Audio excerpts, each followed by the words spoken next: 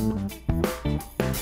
Estão abertas até o próximo dia 29 as inscrições de brasileiros interessados em estudar na Universidade Portuguesa do Algarve. Para a seleção, não há necessidade de fazer prova de ingresso. A instituição vai considerar a nota do estudante no Exame Nacional do Ensino Médio, Enem. A Universidade Portuguesa exige apenas que os brasileiros obtenham um mínimo de 500 pontos na redação e pelo menos 475 pontos em cada uma das provas objetivas. A oferta é de 260 vagas. Saiba mais em portal.inep.gov.br.